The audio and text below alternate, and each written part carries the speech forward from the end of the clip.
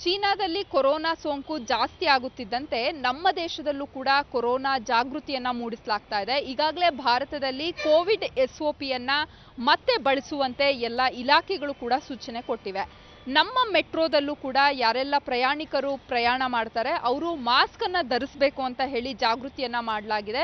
ಈಗಾಗಲೇ ನಾವು ಮೆಜೆಸ್ಟಿಕ್ನಲ್ಲಿರುವಂತಹ metro station ಬಳಿ ಇದ್ದೀವಿ ಸೊ ಈ ಒಂದು ಮೆಟ್ರೋ ಸ್ಟೇಷನ್ನಲ್ಲೂ ಕೂಡ ಬೆಂಗಳೂರಿನಲ್ಲಿರುವಂತಹ ಎಲ್ಲ ಮೆಟ್ರೋ ಸ್ಟೇಷನ್ನಲ್ಲಿ ಯಾರೆಲ್ಲ ಪ್ರಯಾಣಿಕರು ಬರ್ತಾರೆ, ಅವರು ಮಾಸ್ಕ್ ಅನ್ನ ಹಾಕಿ ಅಂತ ಹೇಳಿ ಸೂಚನೆಯನ್ನ ಕೊಡಲಾಗಿದೆ. ಆದರೆ, ಇನ್ನೂ ಕೂಡ ಕಡ್ಡಾಯ ಮಾಡಿಲ್ಲ. ಸೋಮವಾರ ಕಡ್ಡಾಯ ಮಾಡಬಹುದು ಅಂತ ಹೇಳಿ ತಿಳಿಸಲಾಗ್ತಾ ಇದೆ. ಆದರೆ, ಇಲ್ಲಿಗೆ ಯಾರೆಲ್ಲ ಒಳಗಡೆ ಎಂಟ್ರಿ ಕೊಡ್ತಾರೆ. ಅವರು ಮಾಸ್ಕ್ ಧರಿಸಬೇಕು ಅಂತ ಹೇಳಿ ಸೆಕ್ಯೂರಿಟಿಗಳು ಜಾಗೃತಿಯನ್ನ ಮೂಡಿಸ್ತಾರೆ. ಆದರೆ ಕಡ್ಡಾಯ ಮಾಡಿಲ್ಲ. ಒಂದು ವೇಳೆ ಮಾಸ್ಕ್ ಇಲ್ಲ ಅಂತಂದ್ರೆ ಅದನ್ನ ಪರ್ಚೇಸ್ ಮಾಡೋದಕ್ಕೂ ಕೂಡ ಮೆಟ್ರೋ ಸ್ಟೇಷನ್ ಮುಂದ್ಗಡೆನೆ ಒಂದಷ್ಟು ಮಾಸ್ಕ್ ಅನ್ನ ಮಾರಾಟ ಮಾಡಲಾಗ್ತಾ ಇದೆ. ಸೊ ಈ ಹಿಂದೆ ಯಾವ ರೀತಿ ಇವರು ಜ್ಯೂಸ್ ಮತ್ತು ಐಸ್ ಕ್ರೀಮ್ ಶಾಪ್ ರನ್ ಮಾಡ್ತಾರೆ. ತಿಂಗಳಿಗೆ ಮೂರು ಲಕ್ಷ ಸಂಪಾದನೆ ಮಾಡ್ತಾರೆ. ನೀವು ಶುರು ಮಾಡಬೇಕಾ? ಇವರಿಂದ ಕಲಿಬೇಕಾ? ಫ್ರೀಡಮ್ ಆ್ಯಪನ್ನು ಈಗಲೇ ಡೌನ್ಲೋಡ್ ಮಾಡಿ. ರೀತಿಯಾಗಿ ಮಾಸ್ಕ್ಗೆ ಡಿಮ್ಯಾಂಡ್ ಇತ್ತು. ಸೊ ಅದೇ ರೀತಿಯಾಗಿ ಈಗೂ ಕೂಡ ಮಾಸ್ಕ್ಗೆ ಡಿಮ್ಯಾಂಡ್ ಜಾಸ್ತಿ ಆಗಿದೆ. ನಾವು ದೃಶ್ಯದಲ್ಲಿ ನೋಡ್ತಾ ಇರ್ಬೋದು. ಸೊ ಮೆಟ್ರೋ ಸ್ಟೇಷನ್ನ ಮುಂಭಾಗ ಮಾಸ್ಕ್ ಮಾರಾಟ ಮಾಡುವವರ ಸಂಖ್ಯೆ ಕೂಡ ಜಾಸ್ತಿ ಆಗಿದೆ.